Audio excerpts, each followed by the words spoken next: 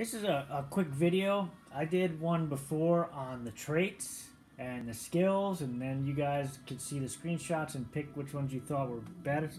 But I think for starting a new community, new, you want these three for obvious reasons. Uh, you want fishing. This one isn't hard to roll, that hard to roll. Take maybe 10 minutes if or less if you're lucky. Uh, you want a fisher because plus two food a day. That's like having uh, two food outposts. It's crazy.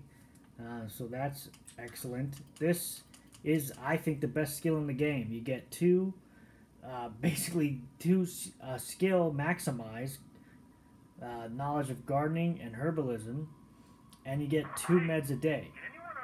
Again, that's like two med outposts. You don't have to waste. So that's two food and two med you're saving right there. And then the last, um, driving, for obvious reasons. Fuel efficiency. If you have this guy driving the cars, he's going to drive.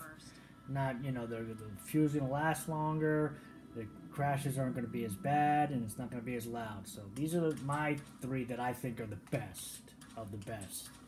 And the traits, there's so many. I got lucky with the driver. He just ended up with a good one.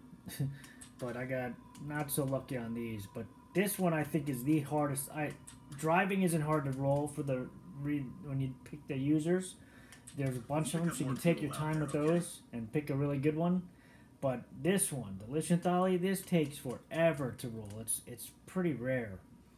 And fishing, I think, is the second rarest, but it's worth it. I think these, it, no other starting three is is skills. All the other skills you can bring survivors in and they can learn them from books. Utilities is the other one I, I like, so you can do electricity, um, but you can get a survivor and then give them a utility book and they can learn it. Or a lot of them have utilities already.